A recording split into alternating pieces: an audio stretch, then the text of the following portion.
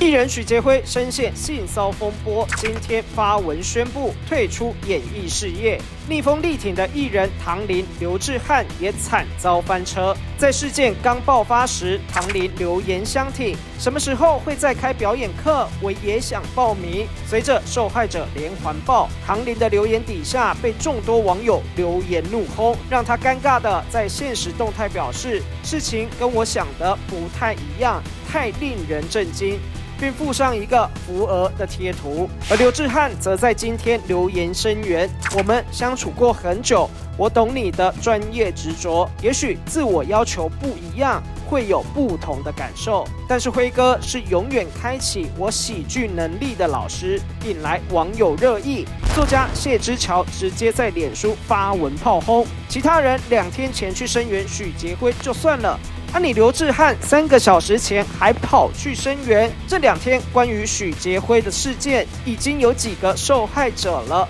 并反问刘志汉：“你记不记得你亲生妹妹两年前才出来说自己被性骚扰？”而刘志汉之后也转发妹妹的申诉书，并写下：“为你感到骄傲，抱抱，用法律说话，对所有人才公平。”